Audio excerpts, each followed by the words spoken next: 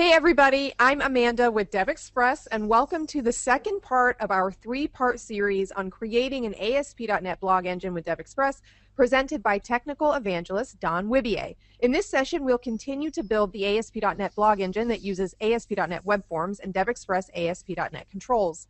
You'll learn about setting up the global infrastructure for the site, see how to set up a responsive ASP.NET master page with the help of the skeleton CSS boilerplate, how to set up some different layouts by using the media queries with Skeleton, and how to make some modifications on the Moderno theme by overriding some CSS selector classes. I will now hand things over to Don Wibier.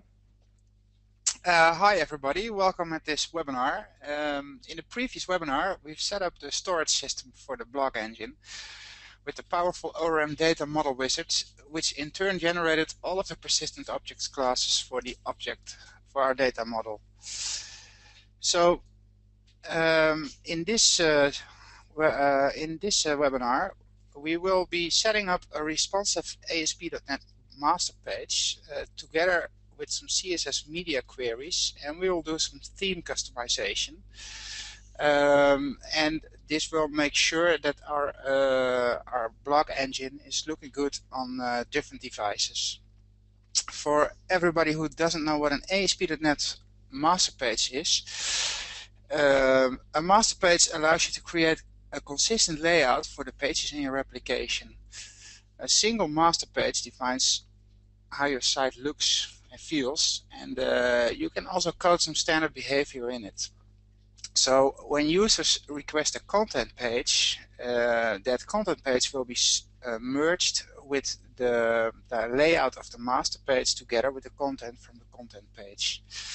So that's that's a quick intro on the on the master page concept. So before we getting into code, I uh, think it would be wise to give you a brief history on uh, on web design. Um, back in the days when there was, wasn't any CSS and uh, HTML5 wasn't invented yet, we had to position our content by using HTML tables. And we will put in some nested HTML tables and some more tables and we will put in some background images in rows or cells and whatever to get the design right. And yeah that would result in like massive amounts of HTML which was pretty much unmaintainable. So at a later stage there was like the introduction of CSS and uh, there you could specify all width and height and alignments and so on of certain elements in, in separate CSS files and uh, that would clean up your HTML quite a bit. The problem was that the CSS was a bit bigger because you had to take all kind of quirks and, and odd things of different browsers into consideration and you needed to, to build in special hacks for special browsers and stuff like that. So then, I mean, these days we have like the CSS grid-based positioning, and uh, that's also what we're going to use because it's it's fairly simple. The grid is developed only once. It's got all the quirks and things in there for the different browsers to to look good, and uh, the only thing that you need to worry about is how to place your content inside that grid. um, so if we're going to take a look on how that works, uh, I have I've, I've drawn uh, a simple grid system here, and there are a couple of, of open source grids out there, and I would definitely recommend getting one of those because uh, it saves you tons of work. Most grids contains uh, contain 12 or 16 columns, and uh, that number is is chosen because 12 and 16 are divisible by quite a huge number of other numbers. So you could have like a great variety in, um, in, in layout. And then what you basically do is uh, you place a couple of bands, what you can see in the, the, the red, the red uh, divs. They are called bands, which will group specific elements together. And as you can see, I will have in this design I have four bands and I will place a logo on top. I will place a menu inside one of the bands and I will put my content in there. And there you can also see that the there are in the in the content band there is like one div which has a width of 8 and there are two with a width of 4. And the grid takes care that the 2 of 4 will drop down each other and together the total width should be 12. So the 8 plus 4 is 12. So that is that is in a nutshell how a grid positioning system works. And then, yeah, the most recent development is like a responsive grid, uh, because the first generation grids they were more or less pixel based, so you would always have like a fixed size of your page. So if you would resize your browser or your screen is smaller, then you would need to scroll horizontally. Um, while with these uh, responsive grids, uh, stuff just happens to get smaller or it will drop down. For instance, with the content blocks that you see here, the two four divs would drop down and it, that would all be taken care of by the grid. So that is also a quick introduction to the responsive design. As you can see, I've taken a, a really simple approach on how to describe what responsive is. Uh, on the first picture you see like a big screen, uh, a workstation and uh, it will have like a, a really good layout. Everything fits on there. If you go to the second one, which is supposed to be a tablet, you'll see that stuff is slightly different organized, but it is still good looking and it is still uh, the best uh, user experience on that device. And if you go to the to the last one, you'll see that uh, the content is rearranged just a bit again. So this is these are basically some scenarios where responsive is is uh, pretty nice to use. So these are also uh, the, the three uh, the, the three bullet points that you would need to get a responsive design. So the one that I was mentioning already is the CSS grid layout system. Then with the introduction of CSS3, there is uh, something called CSS media queries, which allows you to make specific selectors depending on the screen size of the client or the visitor who is uh, watching your page. And we'll get into that in a couple of minutes. And then, of course, if you want to do some scalable stuff, then you would better uh, use um, SVG, which is uh, vector graphics and uh, specifically for logos and stuff which is involved in the design of the site, so content and images and stuff, obviously you can't make that an SVG. But things like a logo can be made up as an SVG, and then if if you are looking on a smaller device, then it get resized pretty nice. And um, yeah, so that's that's a that's a third item which comes into responsive design. So for this demo, I'm going to use the skeleton CSS boilerplate. Um, the skeleton CSS boilerplate is just a real simple setup to get you started uh, pretty quick. And um, you can compare it with Twitter Bootstrap as well, but Twitter Bootstrap is, is, is more of a complete framework. It has like stuff like form controls, pop-ups, all kinds of JavaScript. It's it's it's quite a big framework, and I mean for this for this webinar, it's I think a bit too much uh, to get into the Bootstrap stuff. But maybe we can do another webinar uh, later about uh, Twitter Bootstrap as well. But the skeleton one is is pretty plain, light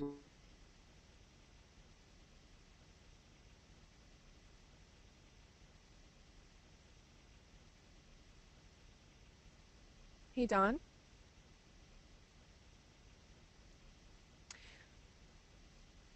Well, Don, are you there? Well, Yeah. okay, let me jump in here, Amanda. It's Mehul. Uh, so uh, maybe uh, Don will be back in a sec, I'm sure. Uh, so Don, uh, I'm not sure if you can hear us, but we've lost your audio. So what Don is showing here essentially is that this is the end product of what our uh, blog engine will look like using that skeleton CSS engine. And as you mentioned, skeleton is uh, just a little bit more lightweight. You can essentially use anything. Uh, the Dev Express controls are very flexible. And so what's interesting about this is that once you get it built with skeleton, you can have a very nice weight responsive blog engine. So here we've got uh, a, a, nice top bar, and it's got that grid system that Don mentioned earlier. Yeah, can you hear me again? Hi, welcome back. Yes. Yeah, I don't know what went wrong there, but uh, I'm back. It's intermittent Uh, gremlins. Sometimes Thanks for just- your uh, thanks for your backup, Mehul, but uh, I'll, I'd like to take it from here. Please do. yeah. All right. Great. All right. So I've uh, I've put on a, a web page with the end result, and uh, I can show you a couple of uh, responsive things here. So uh, what you can see, you've got a, a couple of blog posts. Put in two sample ones, and I've got our really cool cloud control. This cloud control I'm gonna use in this demo because I never used it and I still want to use it, so I'm gonna use it in there anyway. But what you uh, what you will see if I make this screen smaller, everything resizes nicely, and you see that the cloud control has disappeared. And that is because I specified in CSS that it should go down, and as you can see, it is it is here right now. So that is one of the responsive tricks. So if I make it a bit bigger, and I click on the plus, this is this is also one thing we're going to build. Uh, and we're going to build part of it today and uh, we're going to finish it off next week. Uh, this is your facility to enter a blog post. So if you click it, you will get a nice pop-up. You will get this nice looking form with DevExpress controls, of course. And if I resize this browser again, you will see that a couple of things are happening. The pop-up is resizing and also the the form controls are aligning and you will also see that those buttons they are doing uh, something as well if I make it bigger they will align to the right you see and if I make it smaller they will just align in the center so these are just a couple of responsive tricks uh, and we're gonna build uh, a lot of it today so I can show you also how it's working in, in the end so if I put on a new post and I will uh, put in a, a, sample group. I can uh, specify a number of uh, tags here. So and this is by using our really cool token box. I'll leave it to one. And I'll enter just one line of code. So what's happening next is we can attach a couple of images. I will not do that right now because I haven't prepared my images. I'm sorry, but uh, next week I'll pump in tons of images. If I hit OK, you'll see that through a callback everything is being updated. So there is a menu item with it. There is, uh, if I click on it, you will go to it. I just did this one. So here's the post that I just did with the one line of code. And I can also go to this one. So this is basically what we're gonna be building. And there was one, it did have images. Here I did upload a couple of images and what we'll be doing here is we'll be using the image gallery, the brand new image gallery to, uh, to display your images. So this is the end result let's get coding into Visual Studio because we've got lots of code to do. So basically, this is where we ended last week. This is our data model, and I'm going to leave it as it is. I'm going to even close this, these windows because we will not be touching any data today. I'm going to add a new empty project it's not completely empty, I have to admit, because I'm going to use the DevExpress template gallery for creating the empty application. Uh, the reason that I'm doing that is um, uh, because I want to have all references set up properly uh, to the DevExpress control. So that's the reason that I will take the template gallery. As you can see, you will get a nice almost application where you can pick what kind of application you want to be building and in this case it's WinForms but I obviously want to do ASP.NET so you can pick MVC project templates to WinForm or uh, web form templates. And I will go for the web forms and I'll pick the empty one. I will call this one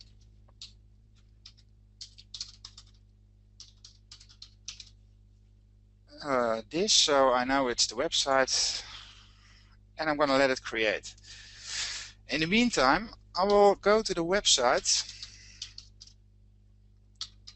of the skeleton uh, boilerplate. And uh, you see it's already here.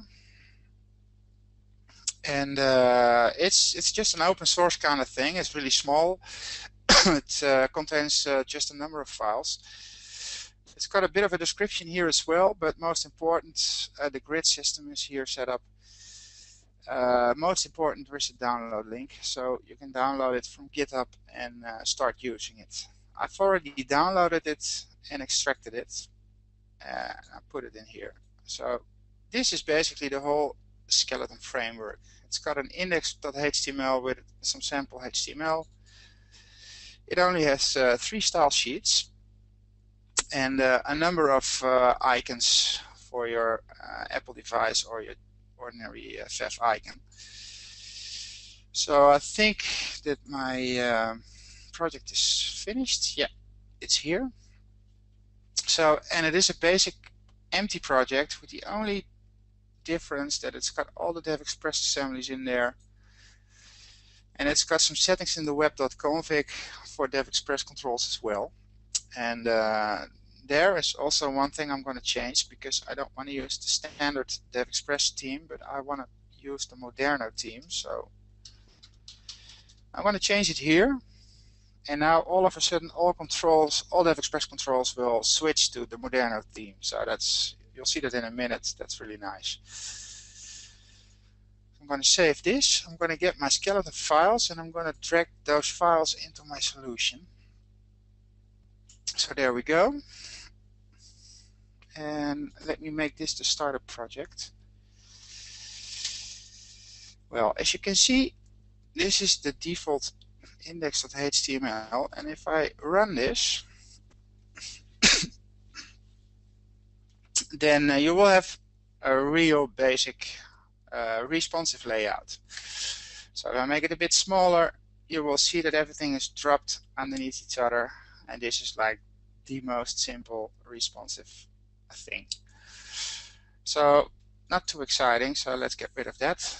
And uh, let me add a master page to the project. So let's say new item. Uh, I'm in C Sharp and I'm going to add a web forms master page. I'm going to call it like this. And I'm going to put all right, so now I'm going to copy out some some uh, code which we will need uh, from the index.html, and uh, I will start with the head section. It will include all the CSS. It will include uh, a number of other things as well. So I will just copy this. I will paste it in here, and I will only change this one make that a run at server. So I've got all the basic stuff in my master page right now. Well, obviously with uh, web forms, you do need a form tag, so I'm gonna leave that one in and I'm gonna make it the root element. I'm gonna remove these two.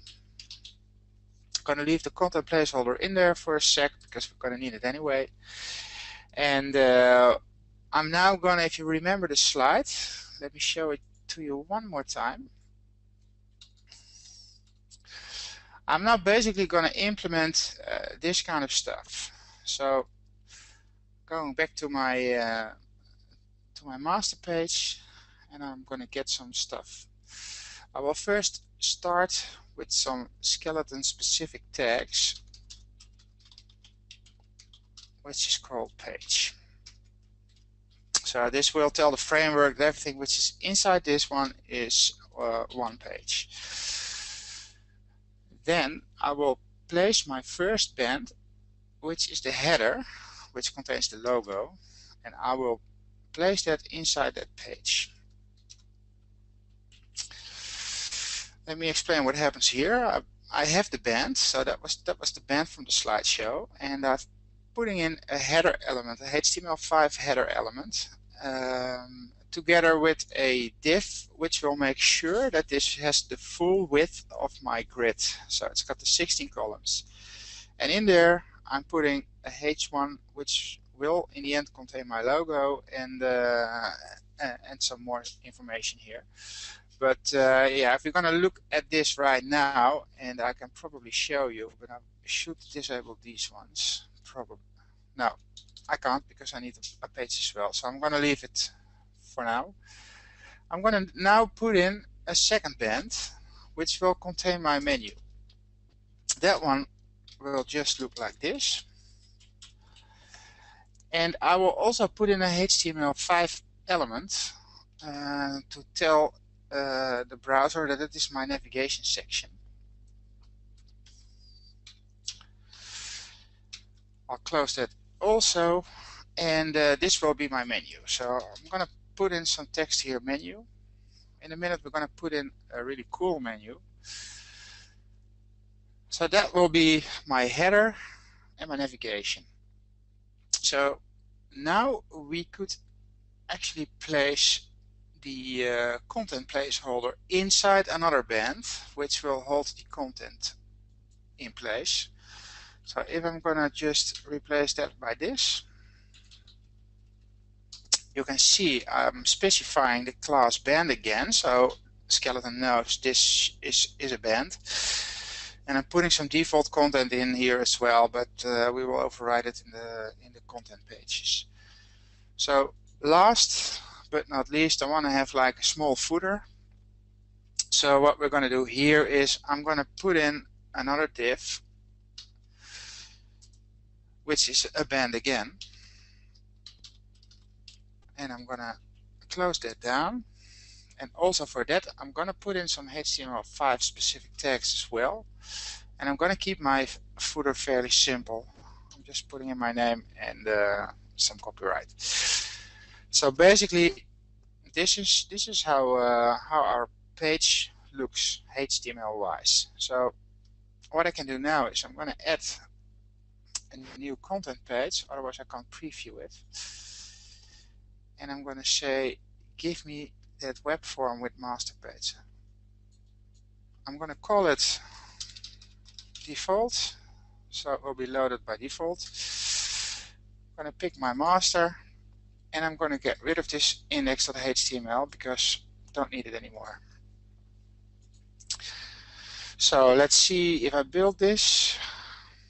It is not giving me any errors. Uh, let me also put in some extra stuff because I want to have some sample text in my content page. So what I'm going to do here, I'm going to put in uh, a container div which will have like a 12 column element, which will be my main content. And it will also have, I can just copy it. Well, 16 minus 12 is 4, so let's make this one 4. And I'm going to close this one down. Now I should need some sample content to see if it all works out nicely. So what I'm going to do there is I'm going to go to a site which is for web development. It's an awesome site. It's called lipsum.org. You might have seen that lorem ipsum text here and there, and it's the ideal format of uh, checking if your site is aligning properly when resizing and stuff like that. I'm just going to generate five paragraphs of it. I'm going to copy some stuff out of here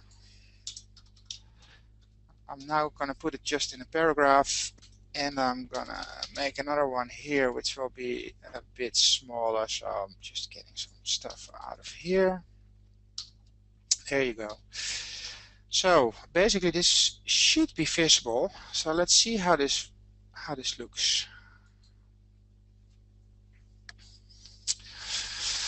alright well that looks pretty boring but it does work a bit like expected.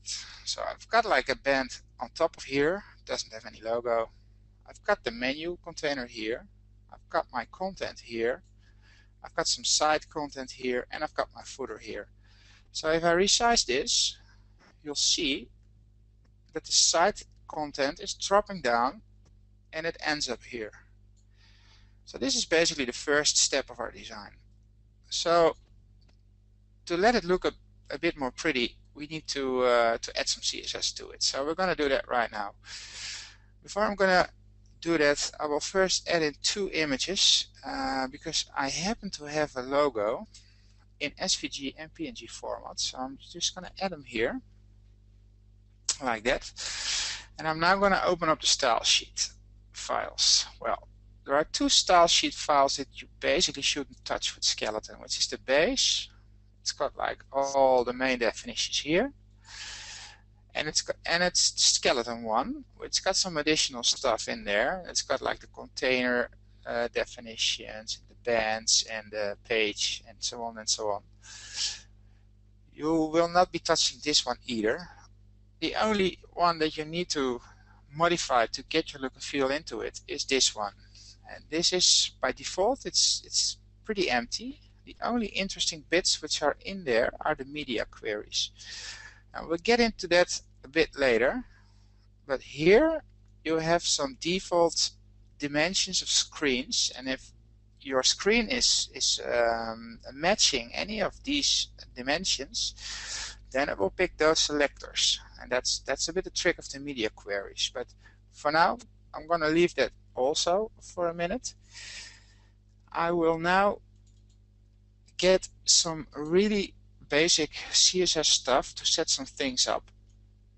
And I will paste it in and explain it later because I can type fast but not not that fast so I'll just set up a couple of line heights for the headers. I'm putting in a couple of margins on paragraphs and uh, some block block quote paragraphs. We'll get to that later.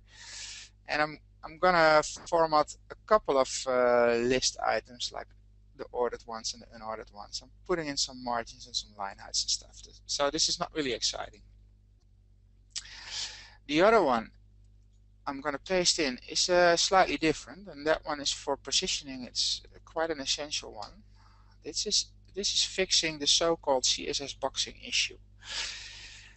What this basically does is uh, suppose you have an element which has a width of 100 pixels and uh, you're putting in some paddings and some margins and some stuff. How is that browser dealing with those paddings and those margins? I mean by default your element will get bigger because of the paddings. So if you have a padding of 4, your, your element will have an actual width which is wider of 100. And to, to make sure that the padding and the margins are happening inside that element, we need to specify this, these tags. So this will make sure that your design doesn't fall apart. Further, I'll put in two extra things which are also a bit for uh, pre-causing any problems. Uh, this is to make sure that images won't break. And this one is also pretty important because our form is our root uh, node at our document. And we don't want our form tag to mess up anything with margins and paddings and stuff. So I will make this form tag just like invisible with no margins, no paddings whatsoever, that it is not interfering with the grid. So those are basically some some some really elementary CSS things for for every site. So now I'm going to style up the band, the the basic band, and uh, the basic uh, band navigation will have some padding, will have some background, and that's about it. Keep it as simple as possible. Um, and for the navigation, the band which holds the navigation, I'm going to put in an extra selector class which will give it a different background color because the standard band has a background of this. But I want the menu to be black or almost black. So I'm overriding it by uh, giving this extra selector to the band and uh, we could probably already see what's happening. And yes, you can because you see that the band is already black and the text is slightly different. So that is that is one step. We will also do the same for the footer. I want the footer to be uh, that same color again and uh, it will have a slightly different padding so if I save this one and I'll check it out you'll see that this one is colored already again so I'm gonna put on some extra stuff for the for the uh, bottom band. And we can take a look again and it still looks good. So those are some some really basic tricks. Now we're going to do some stuff on the header because this uh, this one is like completely ugly. Obviously it's even an ugly font so I want it to be replaced by that image. So what I'm going to do is I'm going to trick with the CSS to make the text disappear but give that element a background which is the actual image. So it is still a h1 in the HTML but it is rendered as an image. Before I can do that, I will first put in some uh, some padding, and I will give some specific uh, settings on the h1.logo. And if you take a look to the master page, you will see that the logo is here. And it will only be applied if it is the class logo on the h1. But that's uh, some some, some fairly simple CSS. So now I'm going to put in a little trick because I'm going to put the following code in, which I will explain also. Here I will say that if it is a hyperlink within that h1, I will replace the background with this image. I will make the font like non-existent the, the, text shadow will be none and the color of the text will be transparent. So the text will be there, but you just don't see it. So if I save this one, then you will see what is happening. The text is being replaced by the logo. Well, we can do some responsive tricks here as well, because if the site gets smaller, it would be nice if the DevExpress logo gets smaller as well, because it's, it's, it's a bit big now. I mean, it's not ugly, but it's just like a bit big. So we can do some some media query stuff on that, and uh, that is one of the nice things of the skeleton framework. So what I'm going to do, I'm going to this bottom section. So when your device has a max width of 479 pixels, I'm going to code in some extra CSS here. And what I'm going to do, I'm just getting the same selector and uh, this doesn't seem okay to me. So let me get that out of the way. And I'm just overriding the width and the height. So if I go back to the to the top one, this one was 250 at 40. So I'm just halving it. You see? Let's see what happens uh, here we are. Uh, I make it bigger, so this is the original size. If I now make it smaller,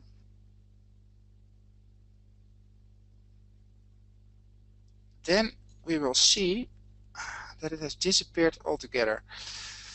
And that has something to do, I think, with this one. You see, it, it is smaller,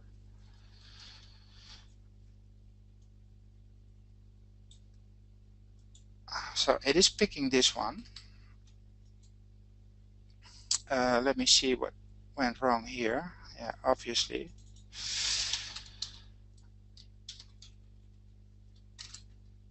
You need to specify the correct dimension. So let me test it again. And here you will see that whenever that size is smaller as that 479 in this case, then it will just scale down that image. So this is one of the tricks what you can do with responsive CSS. Pretty nice, huh?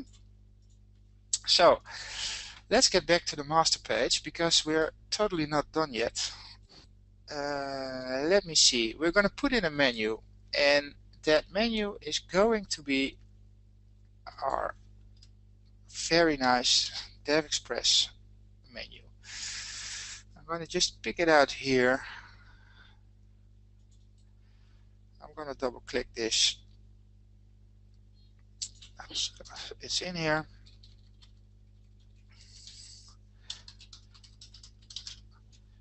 I'm going to call it like this. Uh, I'm going to make the auto, the item auto width set to false.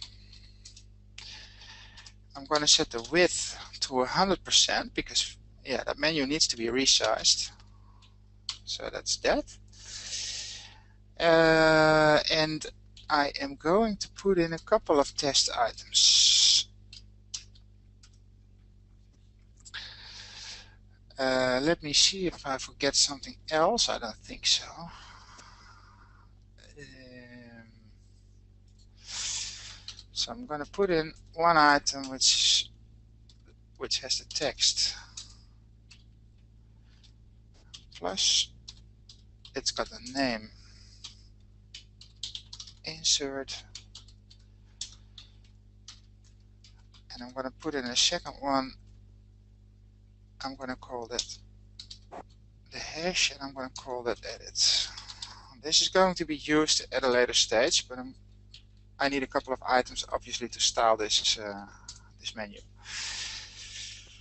so uh, I'm also going to put in a CSS class uh, to get some some specific styling on this menu.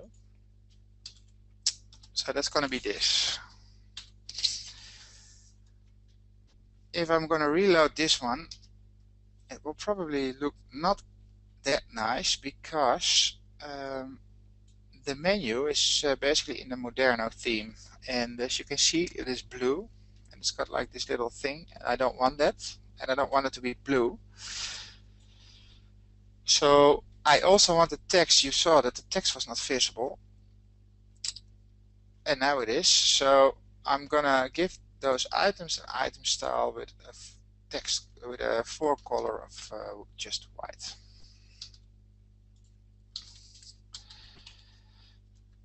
So let me reload this one. So I should be able to see some text. Yeah, great. And now I'm gonna open up Firefox. I'm going to paste this one in because I will now need to override a couple of styles to get the menu looking the way that I want. So how is that being done? I'm going to right click this one. I'm going to say inspect and make this a bit bigger. And here you can see the menu. And here you can see the menu item the second one is a separator, so it's got a class DXM separator. And it's it's all very good setup with names of classes and stuff. So you can do some some really quick wins on that to get the menu in the in the look and feel that you want. So uh, what I will do is I will uh, first get rid of that separator and that separator, well, if you look at the DXM separator and it's inside a, num a number of other styles, so here I'm going to paste this one in. This will make sure that the separator class is overridden. What I will then do is I will give the menu a transparent background which is also the separator and the, and the items. So next I'm going to do something with the list items, but those are the menu items. And the menu items, I'll put on a different padding, a margin at the bottom, put in some font and some font weight. So let's see what happens if I reload it.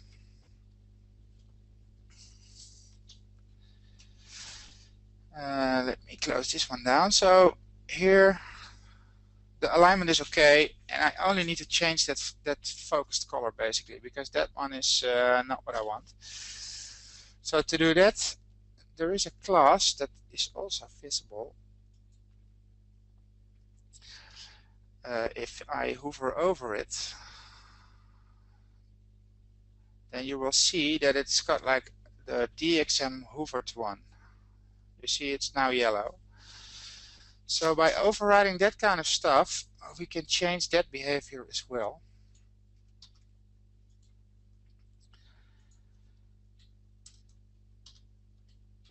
And that is done by inserting these selectors. Well, yeah, you have to figure out a bit in Firebug uh, which ones they are, but as you saw, you can you can find it out. Uh, and if I now reload it, I've got my menu styled. So I've made a couple of small changes in the Moderno theme, specifically on this menu, without redoing a whole new theme because that involves a bit of work. Um, I do have to say that this you shouldn't go over the top with these kind of adjustments because if we decide to change some some styling and some stuff in future versions, you might run into problems. But in this scenario, I mean, you can oversee it because it is not that much, and uh, yeah, this is this is an approach of uh, doing that. All right, so we've got the menu styled as well. Um, I want to do uh, one other thing, which is a bit of interaction and some JavaScript. So we are already running a bit late on the time, but let's see how far we can go. Um, what I'm going to do is I'm going to put in a pop-up control, a DevExpress pop-up control, because what I've shown in the final demo, you would see a pop-up with a form on it where you can post some stuff. So that pop-up control can be done here. Uh, let me get it. Where was it again? Da, da, da, I'm not seeing it right now.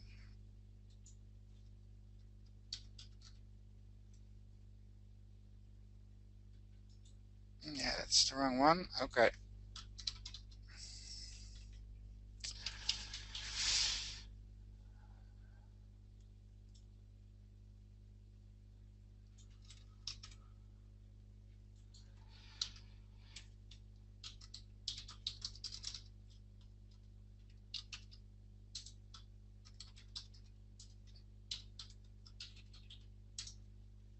So here is the pop-up control and I've set a couple of properties. I've set the close action to none. I've given it a client instance name because I want to do some scripting with it. Pop-up align correction. I'm going to disable it because I want to position it myself.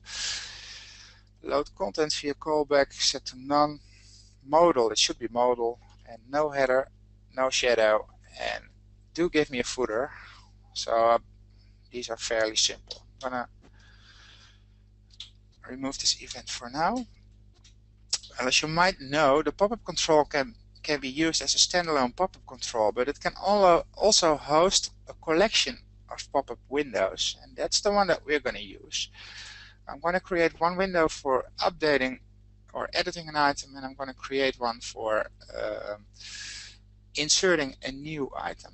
So we do that by inserting a pop-up window with a name and a collection.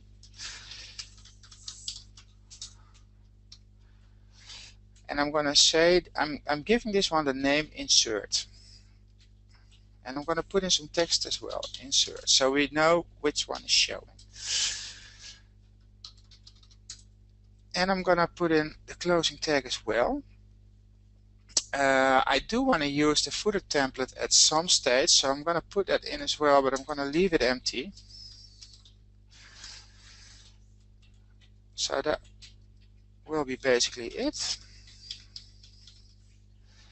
And I'm going to copy this pop-up window and I'm going to create a second one which will have a different name so it can be identified by JavaScript and C Sharp as well and I'm going to call this one edit. And maybe you've noticed already that this name is insert and this menu item also has a name of insert. This one is edit and that one also has a name of edit. Next week we're going to do some stuff with that kind of names and stuff so to make it all dynamically loading. So this one should be changed to edit so we know what's going on. Um, and now this pop-up should show up exactly at where the menu begins. So to make that happen, the most easy way is to place a little div with an ID, uh, which can be used uh, by JavaScript to locate uh, that stuff. So this is, um, I will call it navigation, give it a style width of 100% and I'm just putting the menu in there. All right, so that's that's been set up. Um, it didn't resolve my uh, pop-up control, so that's a bit that's a bit uh, unfortunate. Let me see if it finds it.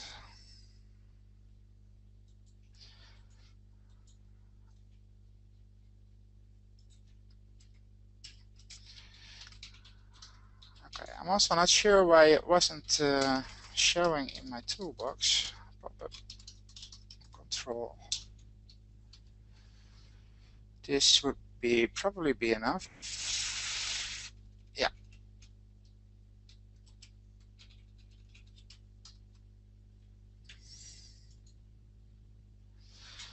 Alright, so now we're going to put in some JavaScript to get that pop-up showing. And uh, well that pop-up should be activated by the menu system. So I'm gonna put in some code with the menu system. It does have a client-side events. Item click. And uh, let me paste some stuff in there for the because we are running a bit out of time. Uh, I'm gonna get this one.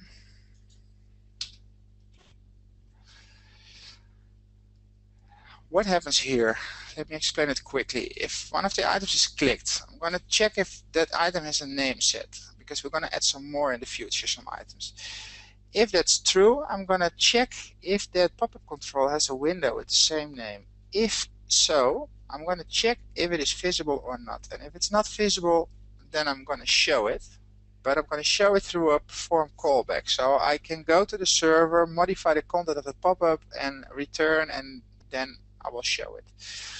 If the pop-up was already visible, I will just hide it. And in that case, I will cancel the default behavior of that of that uh, that menu item. So that is in a nutshell what it does. Uh, before yeah before this is going to happen I probably need some scripts in the pop-up controls as well so what I'm going to do here is I'm going to enter some client-side events as well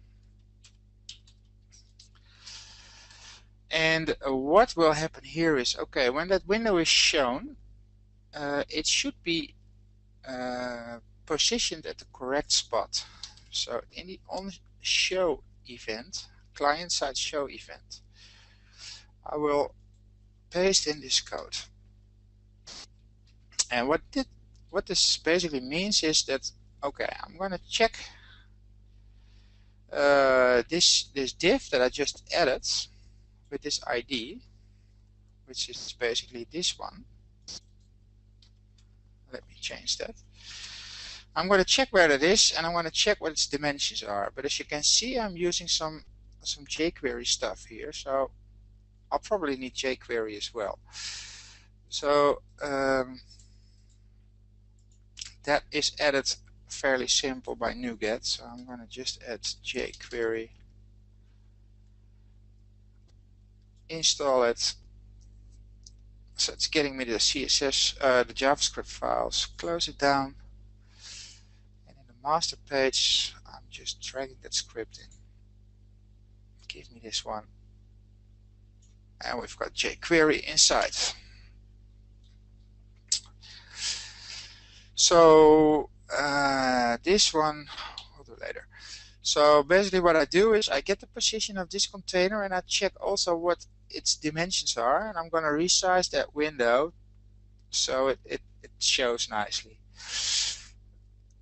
After some some other stuff. I, I also need to do that on the init event. I need to initialize some stuff as well. And I'm going to paste it in as well. What I will do here is because if that window is sizing or the position is changing, the orientation, I need to realign that pop-up again if it's visible. So this is basically exactly what it does. Through jQuery I bind to these two events of your browser and this is being executed and this will make sure that that same window is being realigned again and that it's being uh, put on the same width and the same left position of that uh, nav container element. So what we also do here is I'm I'm doing something with this window uh, W1D variable because I'm gonna keep a reference to the currently open window and I'm storing it in here and that's being done in this position. I stepped over it fairly quick but I'm gonna keep a reference to the current active window so that that means that if a window is closed I should clear up that reference otherwise uh, things could go wrong. So in the close up event of the pop-up window